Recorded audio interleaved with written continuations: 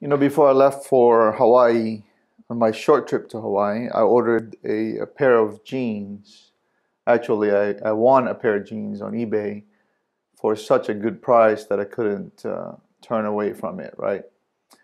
It is my second Japanese made selvage from Japan Blue Jeans. So I want to talk a little bit about that because the more I read about it, the more it is becoming a special pair of jeans. Quite interesting.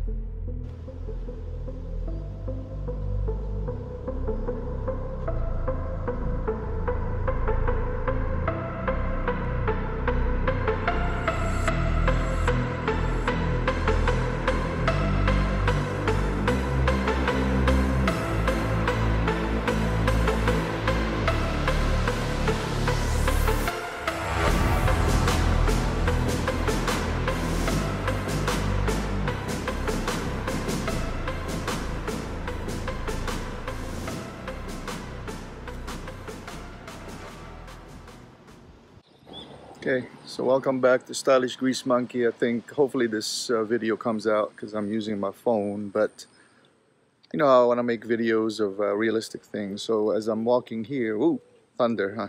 Not good. anyway,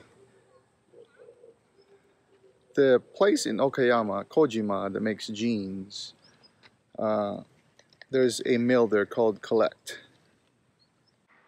Okay, sorry, I got caught off because there's lightning and thunder and I'm trying to get out of the way, trying to walk my dog here. Uh, but going back to the Collect meals. so the Collect meals makes this really high quality selvage denim in their old school looms.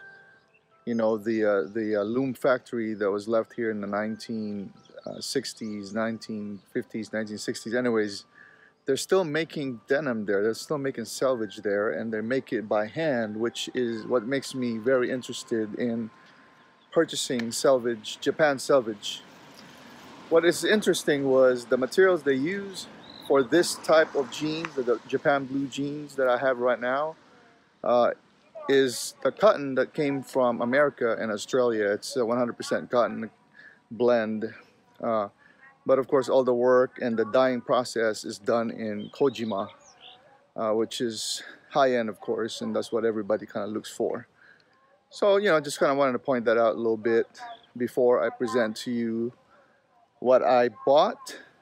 Very, very interested and very, um, you know, much like it. So, anyways, it's raining now. I'll talk to you a bit Alright guys, so I'm glad to be able to come back and make videos again uh, when it comes to my selvage jeans.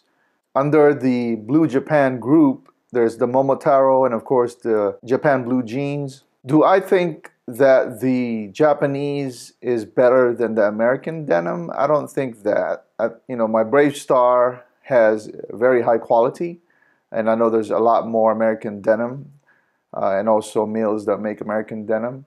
In fact, this particular jeans right here is conglomeration of uh, Australian and American cotton in which they use as raw materials for making the selvage jeans. Uh, they do command a higher price because of the fact that they're still made in these old loom factory and uh, meticulous attention to detail is what the Japanese are known for. So their jeans are very expensive. But there are comparable jeans out there, comparable denim out there that's made all over the world that can be at the same capacity, same rate, or same uh, quality as the Japanese denim, and I don't doubt that. But for now, my focus is the Japanese denim because the Japanese do uh, reproduce these type of old school classic look jeans and uh, and they re look really cool. It's like true to the task, right?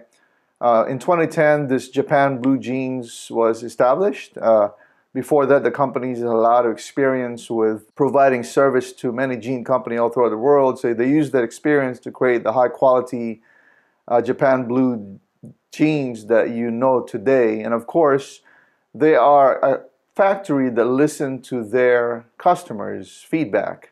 And you know, you provide a feedback to um, Japan Blue Jeans, and they will eventually study it, and that's why you see a lot of current cut, uh, slim, tapered, things like that of current um, generation. So this high tapered uh, version of this Japan Blue jeans was released uh, and was highly anticipated for the release because it is a direct relation to that um, feedback from the customers. The jeans are built for like lifters. I guess a lot of lifters that provide feedback.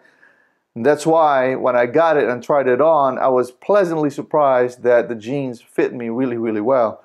I mean, I've complained about um, buying jeans in the past and that buying skinny jeans or just straight cut jeans that doesn't fit my thighs because of uh, you know it's not the biggest thighs but the ratio of my waist and my thighs are kind of off a little bit right with all the lifting that I've been doing so I'm glad that this jeans came about now I'm not going to compare it yet to the Brave Star that I own because I have other things to say about that later on and probably a whole new video about comparing Japan blue jeans to my Brave Star. So the model jeans I got is the JB0612, which is the high tapered model.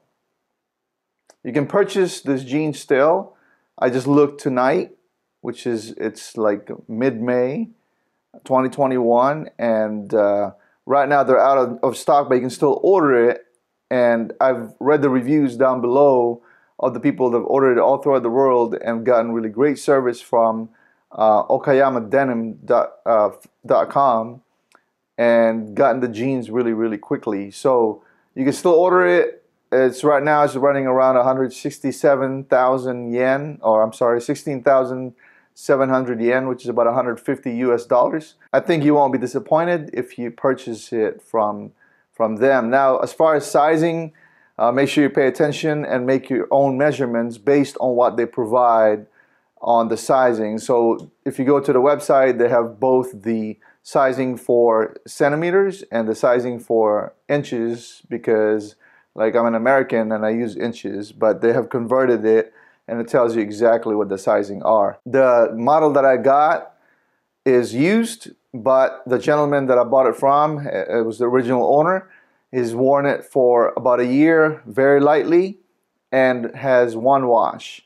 Uh, the only thing that I didn't, I didn't like about it is that when they washed it and dried it, I think they left it all crumpled up. So there's a couple of creases across the, the jeans um, when it was left to dry like that. You know, you have to make sure that if you wash something like this, like raw denim or selvage denim, uh, because the indigo um, does start to kind of fade. That's the reason why you get the fade, right? When you wash it, and when you're wearing it the indigo falls off or it just kind of starts to fade and if you leave those creases that are diagonal then you're to have diagonal creases on your on your jeans on your on your pants it's not that bad i think i can still correct it but that's the history behind the jeans that i got right now uh, this particular one is 16.5 ounces um, you can tell a little bit more heavier than my 15 ounce brave star jeans uh, but not much difference once you start wearing it it's very comfortable. It's cool. I've worn it in the middle of summer and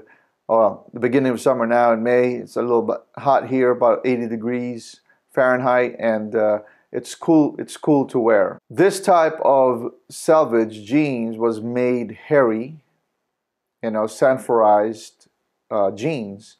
And the sizing they have, everything, the length of everything, the inseam is 35 and a half.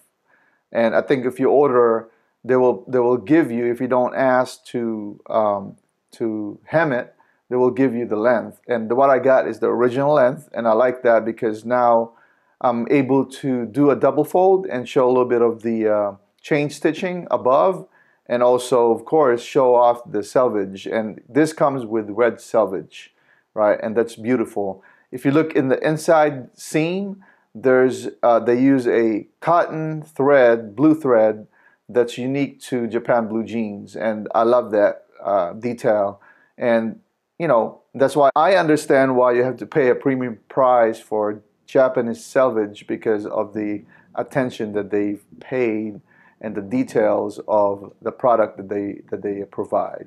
So just real quick, a couple of the uh, information that's on the website that's pretty accurate when I measured it is that the waist is actually 34 and a half, which is almost 35, right? There's some stretching happening because every time you wear it, and of course when you wash it, there's a little bit of a shrinking and stretching going on. Um, the front rise is 11.6. The back rise or the rear rise is 15.4. Upper thigh measurement, this is all in inches, is 13. Knee is 9.4 inches and the leg opening is 7.5 inches. Lastly, the inseam is 35.4 inches long, which makes it a 36 really in my opinion. Another unique thing about this jeans is that the back, the leather patch, is actually stamped by Tanner Goods of uh, Oregon. So, you know, collaboration between two uh, great factories there uh, with, with the jeans and the, and the leather goods in the USA other unique details of the jeans. If, you, if the back doesn't have the back pocket doesn't have a design, which adds into the classic look of these jeans. Really, it's like a five pocket, you know, um, aka Levi's design, I guess, right? Uh, other special features of the jeans is that the front pocket, if you look inside, is they get the signature red selvage in the in the front pack, this front small pocket.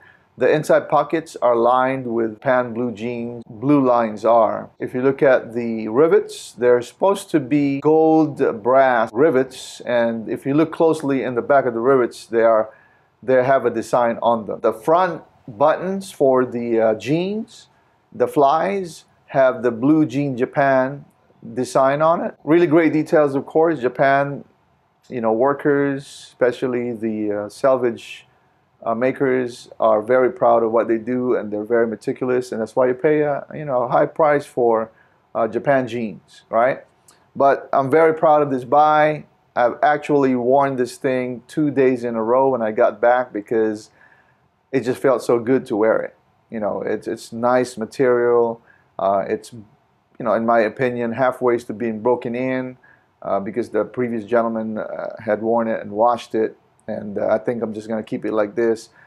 I don't wear my jeans as often as I want to because I do have a few choices of jeans, right? So I kind of rotate through them and I do have my favorites. But as years would come, I will make reports and I will make videos of the status of the jeans.